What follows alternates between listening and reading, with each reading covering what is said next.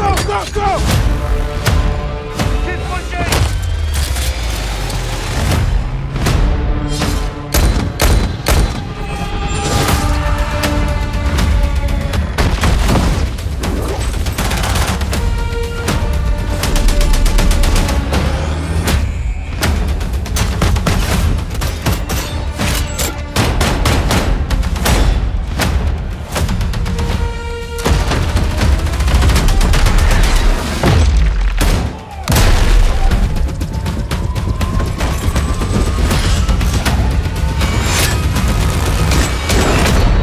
A?